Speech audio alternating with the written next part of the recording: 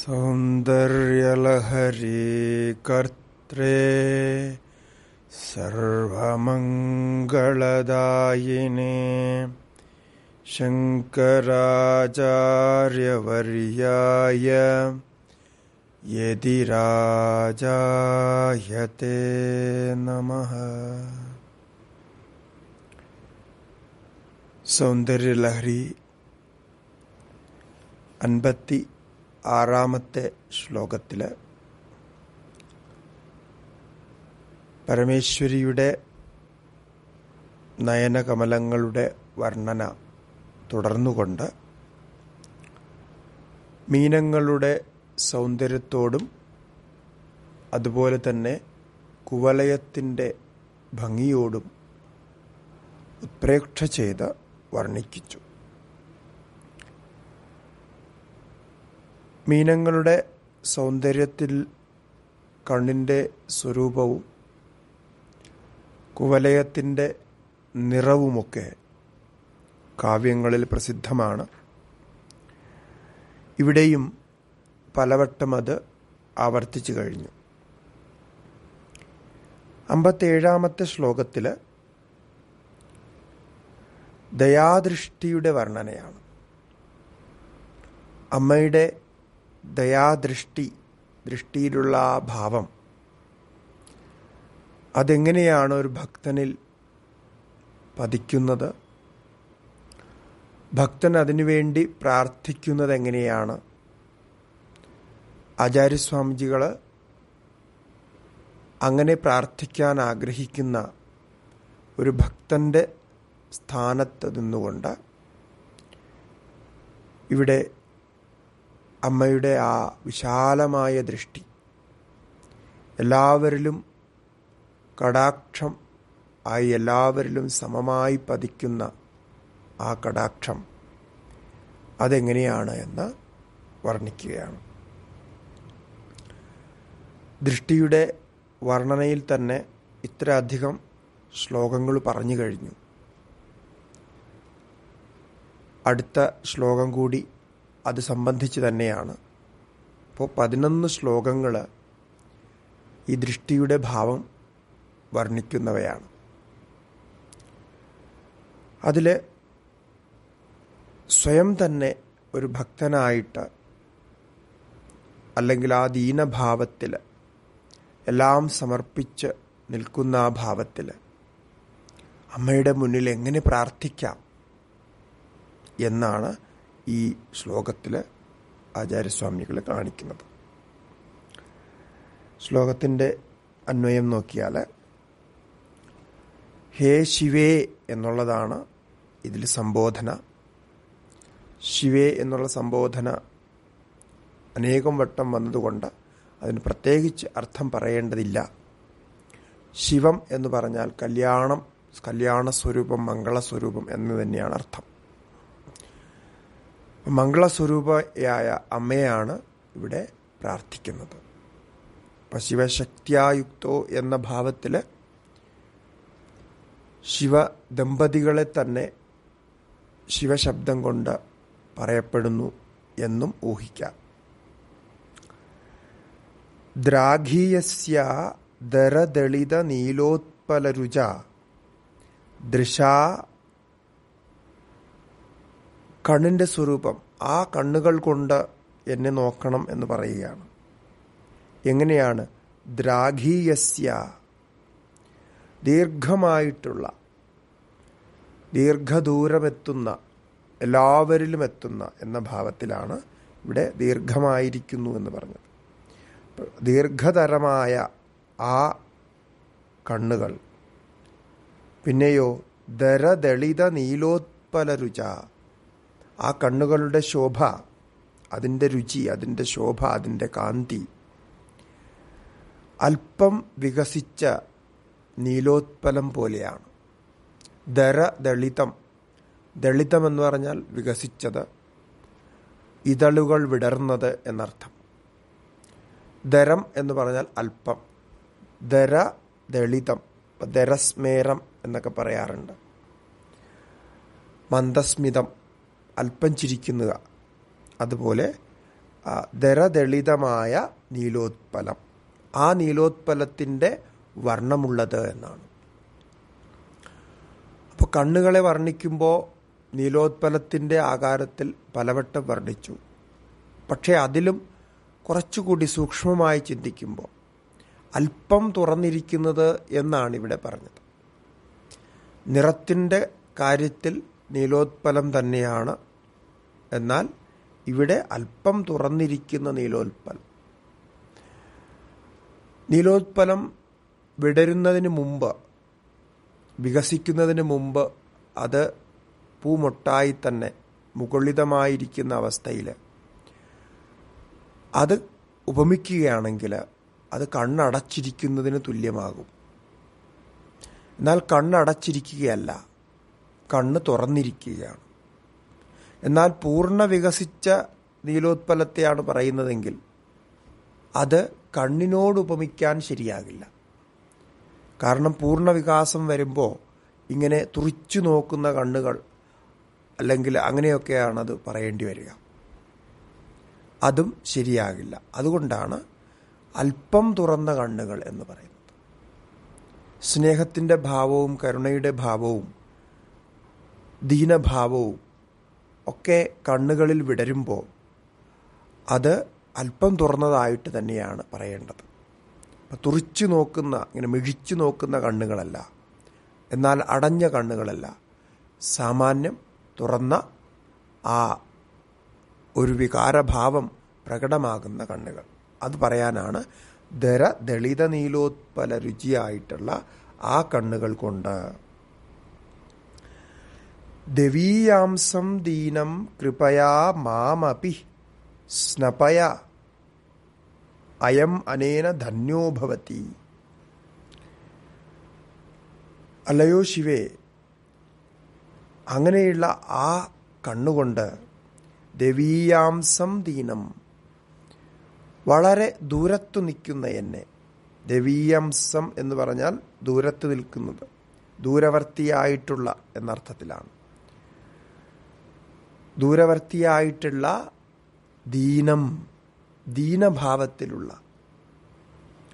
എല്ലാം സമർപ്പിച്ചിരിക്കുന്ന ഒന്നിനോടും ആഗ്രഹമില്ലാതെ എല്ലാം സമർപ്പിച്ചിരിക്കുന്ന എന്നെ മാം അപി എന്നെയും മാം എന്ന് പറഞ്ഞാൽ എന്നെ എന്നും മാം അപി എന്ന് പറഞ്ഞാൽ എന്നെയെന്നും വരും. അപ്പോൾ ഇവിടെ അപി ചേർത്തതുകൊണ്ട് എന്നെയും എന്ന് പറഞ്ഞതുകൊണ്ട് ആചാര്യസ്വാമിജികൾ പറയാൻ ആ ഭാവം പ്രകടിപ്പിക്കാൻ ഉദ്ദേശിക്കുന്നത് ഞാൻ എല്ലാത്തിലും ദീനനാണ്. എല്ലാവരിലും താഴ്ന്നവനാണ്. അങ്ങനെയുള്ള ഏറ്റവും താഴ്ന്നവനായ എന്നെ.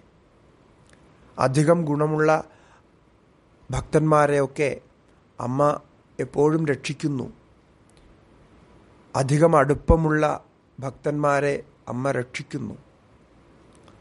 എന്നാൽ ഏറ്റവും ദൂരെ നിൽക്കുന്ന ഗുണങ്ങൾ കൊണ്ട് ദൂരെ നിൽക്കുന്ന സാമർഥ്യം കൊണ്ട് ദൂരെ നിൽക്കുന്ന സാമർഥ്യത്തിന്റെ കുറവ് കൊണ്ട് ദൂരെ നിൽക്കുന്ന അപ്പോൾ ദൂരെ നിൽക്കുന്നത് എന്ന ആ വാക്ക് കൊണ്ട് തന്നെ ആചാര്യസ്വാമിജികൾ ഈ പറയുന്ന ഭാവങ്ങളൊക്കെ അവിടെ പ്രകടിപ്പിച്ചു.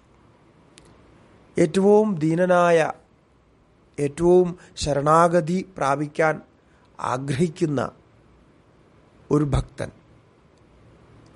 ഒരു ഗുണങ്ങളുമില്ലാത്ത ധനമോ സാമർഥ്യമോ ഒന്നുമില്ലാത്ത ഒരു സാധാരണ ഭക്തൻ എന്ന ഭാവത്തിലേക്ക് ആചാര്യസ്വാമിജികൾ ഇവിടെ പറയുകയാണ്.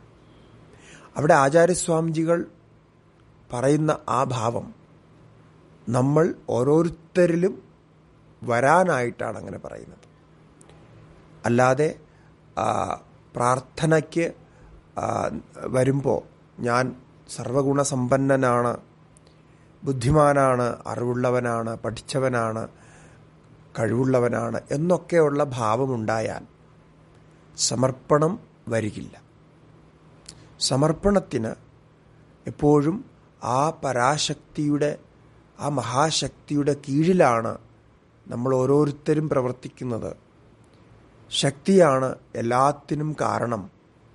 നമ്മളതിലെ ചെറിയ തരംഗങ്ങൾ മാത്രം. എന്താണ് നമ്മൾ നമ്മൾ ചെയ്യാൻ കഴിയുന്നത്? നമ്മുടെ അനുഭവം തന്നെ നമുക്ക് നോക്കിയാൽ എന്താണ് നമ്മൾ ചെയ്യുന്നത് എന്ന് ആ ഭാവത്തിൽ പ്രാർത്ഥിക്കണമെന്നാണ്. എത്രയോ അഭിമാനം കുറഞ്ഞിരിക്കുന്നു. എത്ര ആ ഭാവത്തിൽ അഭിമാനത്തിന്റെയും അഹങ്കാരത്തിന്റെയും കഴിവുകളുടെയൊക്കെ ബോധം കുറഞ്ഞിരിക്കുന്നുവോ അത്രയും പരാശക്തിയെ ഉള്ളിൽ ഉൾക്കൊള്ളാനും അംഗീകരിക്കാനുമുള്ള മനസ്സ് വികസിച്ച് കിട്ടും. അല്ലെങ്കിൽ മനസ്സിന് ശുദ്ധതയുണ്ടാകും. അതാണ് ആചാര്യസ്വാമിജികൾ മാമപി എന്ന ആ അഭിപ്രയോഗം കൊണ്ട് ഞാൻ പരമസാധുവായ എല്ലാവരിലും സാധുവായ എന്നെ. കൃപയാ സ്നപയാ. ആ ദൃഷ്ടിയിൽ നിന്ന് പതിക്കുന്ന കൃപ കൊണ്ട് ആ കൃപാകടാക്ഷം കൊണ്ട് എന്നെ കുളിപ്പിക്കൂ. എന്നിൽ ആ കൃപാകടാക്ഷം വർഷിപ്പിക്കൂ എന്നാണ് ആചാര്യസ്വാമികൾ സ്നപയ എന്ന് പറയുന്നത്. സ്നാനം ചെയ്യിപ്പിക്കൂ എന്നാണ്. അപ്പം അമ്മയുടെ ദൃഷ്ടിയുടെ ആ ദയാഭാവം തന്നിലേക്ക് ഉൾക്കൊള്ളുമ്പോൾ ഒരു കുളിർമ അനുഭവിക്കുന്നു. ഒരു ആനന്ദം അനുഭവിക്കുന്നു. അമ്മയുടെ ദൃഷ്ടികളെ ഞാൻ കാണുന്നു എന്ന ആനന്ദമുണ്ടാകും.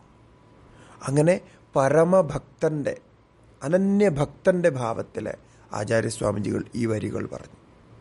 അപ്പം ഇതുവരെയും ദൃഷ്ടിയുടെ ഇത്രയധികം വർണനകൾ ചെയ്തത് എന്തിനാണ് എന്ന് നമുക്കിവിടെ മനസ്സിലാകും. ഇത്രയും ആ ശ്ലോകങ്ങളിൽ ഓരോ ശ്ലോകങ്ങളിലും ദൃഷ്ടിയുടെ ഓരോ ഭാവം പ്രകടമാക്കിക്കൊണ്ട് ആ ദൃഷ്ടിയിൽ തന്നെ അമ്മയുടെ ആ ദൃഷ്ടിയിൽ സുന്ദരമായ ദൃഷ്ടിയിൽ തന്നെ മനസ്സിനെ സ്ഥിരമാക്കിക്കൊണ്ട് അവസാനം പറയുന്നത് ആ ദൃഷ്ടിയിൽ നിന്ന് പതിക്കുന്ന കൃപാകടാക്ഷം എന്നെ കുളിർപ്പിക്കട്ടെ എന്നാണ്.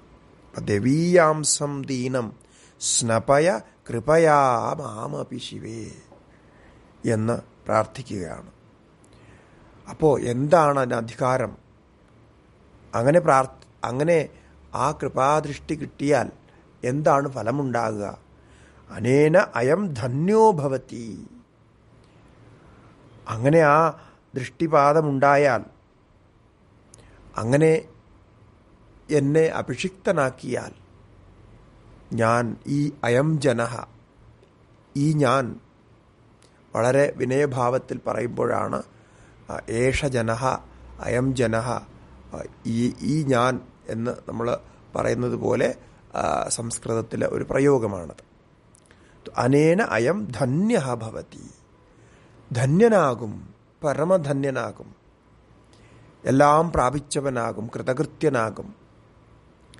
ദുഃഖങ്ങളൊന്നും ഉണ്ടാകില്ല സംസാരമില്ലാതാകും. ധന്യശബ്ദത്തിന് അർത്ഥം ധനത്തിന് യോഗ്യനായവൻ അല്ലെങ്കിൽ ധനം പ്രാപിച്ചവൻ എന്നാണ് ധന്യശബ്ദത്തിനർത്ഥം. ധനശബ്ദവുമായിട്ട് ബന്ധപ്പെടുത്തി വേണം ധന്യശബ്ദത്തിന്റെ അർത്ഥം പറയാൻ. പക്ഷെ ഇവിടെ ധനം എന്താണ് ഇവിടെ ധനം സന്തോഷമാണ് സംതൃപ്തിയാണ്. സാധാരണ ധനം ലഭിക്കുന്നവർക്ക് സുഖവും സംതൃ സംതൃപ്തിയും ഉണ്ടാകുന്നതിനെ കണക്കിലെടുത്ത് റൂഢിയിൽ ധന്യൻ എന്ന് പറയുന്നു അപ്പോൾ ധനമുള്ളവൻ ധനം പ്രാപിച്ചവൻ ധനം ഉപഭോഗം ചെയ്യുന്നവൻ എന്നൊക്കെ അർത്ഥം അവിടെ പറയാമെങ്കിലും ശരിക്കുള്ള അർത്ഥം കൃതകൃത്യത അനുഭവിക്കുന്നവൻ സംതൃപ്തൻ. ആ സംതൃപ്തിയുടെ ആനന്ദം കൊണ്ട് പുളകിതനായവൻ എന്നൊക്കെയാണ്. ആ ഭാവം എന്നിൽ വരും. പിന്നെ ഒരു സംശയമുണ്ടാകാം. നേരത്തെ പറഞ്ഞു ദേവീയാംസം ദീനം എന്ന് പറഞ്ഞു. ഏറ്റവും അമ്മയിൽ നിന്ന് വളരെ ദൂരെ നിൽക്കുന്ന ആളാണ് ഞാൻ എന്നാണ് അവിടെ വിശേഷിപ്പിച്ചത്. എന്തുകൊണ്ടാണ് അമ്മയിൽ നിന്ന് ദൂരെ നിൽക്കുന്നത്? അങ്ങനെ പറയാൻ കാരണമെന്ത്? എന്ന് ചിന്തിക്കുമ്പോൾ അമ്മയുടെ ദൃഷ്ടി സർവവ്യാപകമാണ്. ദോഷം കൊണ്ടും ഗുണം കൊണ്ടും അസാമർഥ്യം കൊണ്ടുമൊക്കെ അമ്മയിൽ നിന്ന് ദൂരെ നിൽക്കുന്ന ദീനരിലും അമ്മയുടെ ദൃഷ്ടി എത്തുന്നു. എല്ലാവരിലും ആ ദൃഷ്ടി പതിക്കുന്നു. വാസ്തവത്തിൽ ആ പരാശക്തിക്ക് പരമാത്മാവിന് ആരും ദൂരെയല്ല. ദൂരം സൃഷ്ടിക്കുന്നത് നമ്മുടെ തന്നെ അജ്ഞാനമാണ് അല്ലെങ്കിൽ അഭിമാനമാണ്. ആ ജ്ഞാനവും അഭിമാനവും എപ്പോഴാണോ താഴുന്നത് നശിക്കുന്നത് അപ്പോൾ ദൂരമില്ലാതാകും. തദ്ദൂരേ തദ്വന്തികേ എന്നൊക്കെ ഉപനിഷത്തുകൾ പറയും. അത് ദൂരത്തിലാണെന്നും പറയാം അന്തികത്തിലാണെന്നും പറയാം. അപ്പോൾ അങ്ങനെ ദൂരെ നിൽക്കുന്ന ഒരു ഭക്തന് എന്തിന് കൃപാദൃഷ്ടി വേണം? അല്ലെങ്കിൽ അമ്മ എന്തുകൊണ്ട് കൃപാദൃഷ്ടി ചെയ്യണം എന്ന് സംശയിച്ചാൽ അതിനുത്തരം ആചാര്യസ്വാമിജികൾ തുടർന്ന് വളരെ ഭംഗിയായിട്ട് പറയുന്നുണ്ട്. യഥാ ഹിമകര വനേവാ ഹർമ്യേവ സമകരനിപാതോ ഹി എന്തുകൊണ്ടെന്നാൽ അങ്ങനെയുള്ള എന്നിൽ കൃപാദൃഷ്ടി ചെയ്തതുകൊണ്ട് അമ്മയ്ക്ക് ഒരു ഹാനിയുമില്ല ഒരു കുറവുമുണ്ടാകില്ല. നചത്തെ ഹാനിരിയത. ഇപ്രകാരം ചെയ്യുന്നത് കൊണ്ട് ദർശന മാത്രമായിട്ട് തന്നെ ആ ധന്യൻ ആകുന്നു എന്നതുകൊണ്ട് അമ്മയ്ക്ക് എന്താണ് കുറവുണ്ടാവുക? എല്ലാവരെയും സമമായി കാണുന്ന അമ്മയ്ക്ക് ഞാൻ ദീനനാണെങ്കിലും അസമർത്ഥനാണെങ്കിലും വ്യത്യാസമൊന്നും ഉണ്ടാകില്ല. ആ വ്യത്യാസം എന്തുകൊണ്ടുണ്ടാകില്ല എന്ന് ചോദിച്ചാൽ അതിനുത്തരവും തുടർന്ന് പറയുന്നുണ്ട്. ഒരു യുക്തിയോടുകൂടി പറയുകയാണ്. ചന്ദ്രൻ ഉദിക്കുമ്പോൾ പൂർണിമയുടെ ചന്ദ്രപ്രകാശം പരക്കുമ്പോൾ ചന്ദ്രപ്രകാശം എവിടെയാണ് എത്തുന്നത് അത് നല്ലവരിലെയോ ചീത്തവരിലോ അല്ലെങ്കിൽ നല്ല സ്ഥാനങ്ങളിലോ ചീത്ത സ്ഥാനങ്ങളിലോ എന്ന ഭേദം വരുത്താറില്ല. ചന്ദ്രപ്രകാശം പരക്കുമ്പോൾ സൂര്യപ്രകാശം പരക്കുമ്പോൾ അതെല്ലാവരിലും സമമായി തന്നെയാണ് എത്തുന്നത് ചന്ദ്രനെ സംബന്ധിച്ചിടത്തോളം വലിയവരെന്നും താഴ്ന്നവരെന്നുമില്ല. ഉറ്റവരെന്നും നീചവരെന്നുമുള്ള ഭാവമില്ല. എല്ലാവരും എല്ലാ പ്രാണികളും എല്ലാ ചരാചരങ്ങളും ആ ചന്ദ്രപ്രഭയുടെ മുന്നിൽ സമമത്രേ. അങ്ങനെയുള്ള ആ ചന്ദ്രപ്രഭ പോലെ ഉപനിഷത്തുക്കളിലും വേദാന്തത്തിലുമൊക്കെ ഈശ്വരനെക്കുറിച്ച് പറയുമ്പോഴും പർജന്യവത് ഈശ്വര എന്നാണ് പറയുക. ഈശ്വരൻ മഴ പോലെയാണ് പർജന്യം പോലെയാണ്. എന്തുകൊണ്ട് എന്ന് ചോദിച്ചാൽ മഴ പെയ്യുമ്പോൾ എല്ലായിടത്തും ഒരുപോലെ തന്നെയാണ് പെയ്യുക. അവിടെ നല്ലവന്റെ വീട് ചീത്തവന്റെ വീട് അല്ലെങ്കിൽ അന്യ അന്യ വർഗത്തിൽപ്പെട്ടവരുടെ വീട് വലിയവൻ ചെറിയവൻ താഴ്ന്ന ജീവികൾ ഉയർന്ന ജീവികൾ എന്നൊന്നും ഒരു ഭേദവും വരുത്താറില്ല. മഴ എല്ലാവരുടെയും എല്ലാവരിലും എല്ലാ സ്ഥലങ്ങളിലും ആ പെയ്യുന്ന സ്ഥലത്ത് എല്ലാ സ്ഥലത്തും ഒരുപോലെ ഒരേ മാത്രയിൽ തന്നെ വീഴും. അതുപോലെയാണ് ഈശ്വരൻ. ഈശ്വരന് കള്ളനും അല്ലാത്തവനും ധർമ്മിയും അധർമ്മിയും എല്ലാവരും സമമാണ്. ഈശ്വരന്റെ മുന്നിൽ സമമാണ്. അവരവർ ചെയ്യുന്ന കർമ്മങ്ങളുടെ ഫലം അവരവർ അനുഭവിക്കുന്നു. നല്ലത് ചെയ്യുന്നവന് നല്ലത് കിട്ടുന്നു. ഒരു കൃഷിസ്ഥലം ഒരു കൃഷിയിടം തയ്യാറാക്കി മഴയ്ക്ക് വേണ്ടി പ്രതീക്ഷിക്കുന്നു. മഴ പെയ്യുമ്പോൾ ആ കൃഷിയിടത്തിന് വേണ്ടത്ര ജലാംശം ലഭിക്കുന്നു. അതിൽ നിന്ന് കൃഷി നന്നായിട്ട് വിളയുന്നു. എന്നാൽ ആ കൃഷിയിടത്തിൽ ഏത് വിത്താണ് പാകിയിരിക്കുന്നത്? ഏത് ഗുണമുള്ള വിത്താണ് പാകിയിരിക്കുന്നത്. അതൊക്കെ പാകിയ ആളുടെ അറിവിലുള്ളതാണ്. അയാളുടെ കർമ്മമാണത്. നല്ല ഗുണവത്തായ വിത്താണ് പാകിയതെങ്കിൽ തീർച്ചയായിട്ടും മഴയ്ക്ക് ശേഷം ഗുണവത്തായ ചെടികളുണ്ടായി അതിൽ വീണ്ടും ധാന്യങ്ങൾ ഗുണവത്തായ ധാന്യങ്ങൾ തന്നെ ഉണ്ടാകും. അപ്പോൾ അവിടെ വിത്തിന്റെ ഗുണം നിശ്ചയിക്കുന്നത് വിതയ്ക്കുന്ന ആളാണ്. അപ്പോൾ നമ്മുടെ കർമ്മമാണ് എന്ത് ഫലം വേണമെന്ന് നിശ്ചയിക്കുന്നത്. അല്ലാതെ പർജന്യം പോലെയുള്ള ഈശ്വരകൃപയല്ല. ഈശ്വരകൃപ എല്ലാവരിലും സമമായി പൊഴിയുന്നു. അടുക്കുന്നവർക്ക് അത് കൂടുതൽ അടുത്തറിയാനും സ്വീകരിക്കാനും കഴിയുന്നു. അല്ലാത്തവർക്ക് അതിന് കഴിയുന്നില്ല. ആചാര്യസ്വാമിജികൾ മറ്റൊരിടത്ത് ഈ ഒരു ഉദാഹരണം കൂടി പറഞ്ഞിട്ടുണ്ട്. തീ ചൂടാണ്.